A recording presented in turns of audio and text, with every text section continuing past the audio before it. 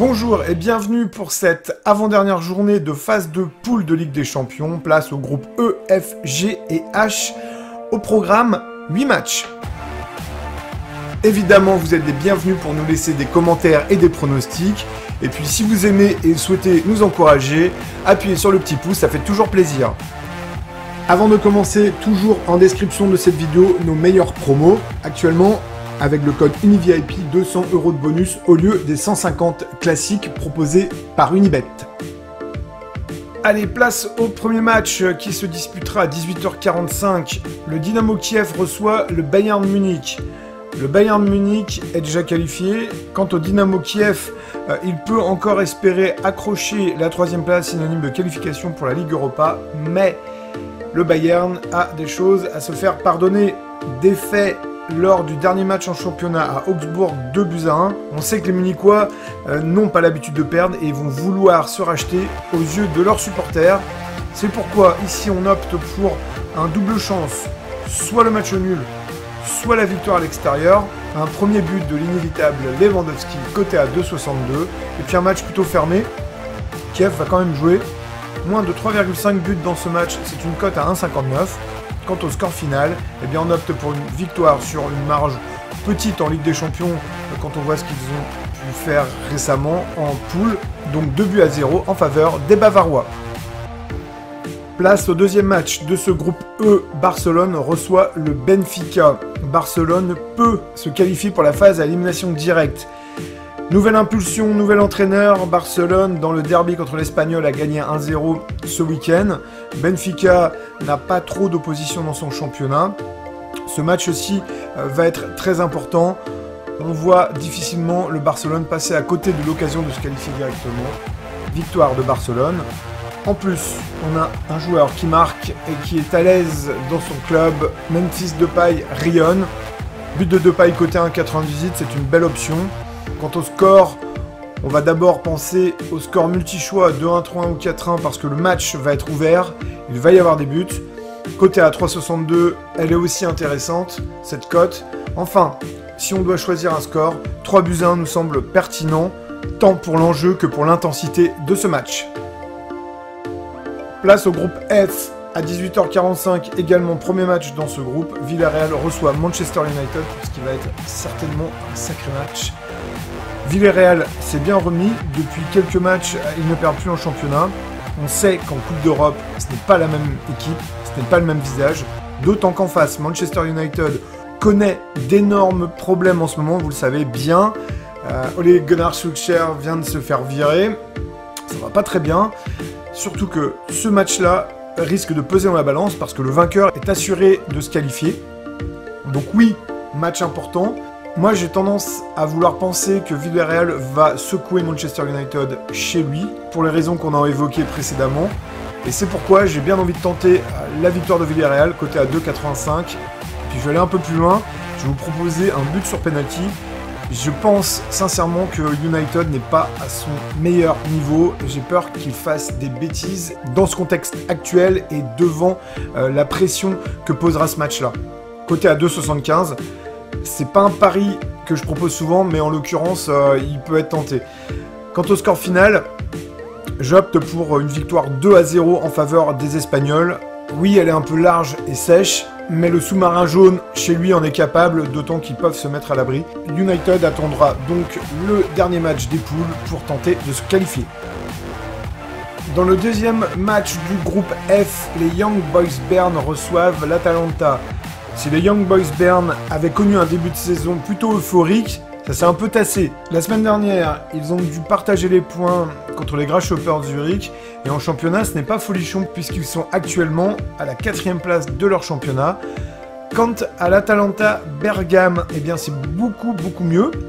Deux victoires depuis le dernier match de Ligue des Champions contre Manchester United. Victoire à l'extérieur à Cagliari de Buzyn et victoire 5 buts à 2 à domicile contre la Spezia. En Ligue des Champions, il faut noter également que les Young Boys restent sur trois défaites consécutives. Et devant ce constat, j'ai envie d'opter pour un match nul ou une victoire de l'Atalanta avec plus de 2,5 buts côté 1,47 parce que les Young Boys malgré tout ils marquent des buts à domicile mais l'Atalanta se déplace plutôt bien. Quant au score final, eh bien on va surfer sur ce constat toujours avec des buts de chaque côté, un match ouvert parce que ça va être le cas de toute façon toute cette journée. Donc on va prendre le score multi-choix 1-2, 1-3 ou 1-4, côté à 3,82, là c'est intéressant, et on choisira le 1-3 en faveur de l'Atalanta. Place au groupe G à présent, celui qui nous intéresse, mais avant de parler de Lille, on va parler du match Séville-Wolfsburg. Des Sévillans qui sont invaincus en championnat depuis 5 matchs. En Ligue de Champions, c'est pas la même. Leurs deux derniers matchs, c'est un nul à Lille et une défaite contre ces à domicile. Quant à Wolfsburg, c'est plutôt l'inverse. Ils étaient mal en championnat. Là, ils commencent à retrouver un peu d'allant puisque ça fait 3 matchs qu'ils ne perdent pas. Et en Ligue des Champions, ils vont mieux. On se souvient que lors du dernier match de Ligue des Champions, ils ont battu Salzbourg. Donc match a priori compliqué, déjà sur le papier, mais avantage tout de même au terrain. Et dans cet avantage, eh bien, on va donner Séville vainqueur. On ne dit pas que ça va être facile, mais sur la fin du match, Séville risque d'aller glaner ces trois points capitaux pour la qualification, car s'ils perdent, ils sont éliminés de la Ligue des Champions. Pas encore pour la Ligue Europa. Donc ici, victoire de Séville par 2 buts ou plus, côté à 2,7. On va faire un petit pari de buteur, but de N Nessiri ou de Weghorst, côté à 5,35. Là j'attire votre attention parce que elle, elle est belle. Quant au score final, eh bien on l'a dit, on voit un match euh, engagé et puis on voit une victoire de Séville. 3 buts à 1, score final. Place au match qui nous intéresse, les Lillois reçoivent Salzbourg. Match capital, on le sait, Lille se doit de gagner au vu des derniers résultats. Un match nul à domicile contre Angers, puis un match nul en déplacement à Monaco. Et puis surtout le match en déplacement à Séville le 2 novembre dernier une belle victoire surprise mais aboutie. Ils reçoivent des Autrichiens qui en championnat n'ont pas vraiment beaucoup de concurrence.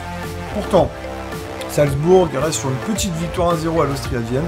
Et puis un match nul à domicile contre Admira, dixième sur 12 dans le championnat autrichien. Petite forme en ce moment, ce qui nous conduit à penser que Lille est capable de surfer sur ses bons résultats euh, récents et d'aller gagner ce match, voire un match nul. Alors on choisit le double chance, Lille ou match nul. Et puis on va aller un peu plus loin, on va choisir Lille rembourser 6 matchs nuls, côté à 1,66. Quant au buteur, comme pour le match précédent, on opte pour un double buteur, soit Lillois, soit Salzbourgeois, but de David ou d'Adeyemi, côté à 1,58. Enfin, quant au score final, il risque d'être serré et à l'avantage, en tout cas c'est ce qu'on pense, des Lillois, victoire des Dogs, 2 buts à 1 à domicile, des Lillois qui, quoi qu'il arrive, devront aller chercher leur qualification lors du dernier match. La suite des événements nous emmène dans le groupe H avec un premier match et un premier choc, même avec un gros choc. Chelsea reçoit la Juventus de Turin. Dans ce groupe, tout est plié pour ainsi dire. La Juventus est déjà qualifiée, 4 matchs, 4 victoires. Chelsea avec 3 victoires, une défaite. D'ailleurs, c'était lors du match aller contre la Juventus. N'aura de but que de laver cette défaite et puis essayer d'aller chercher la première place de ce groupe. La, la Juventus en championnat, c'est mieux.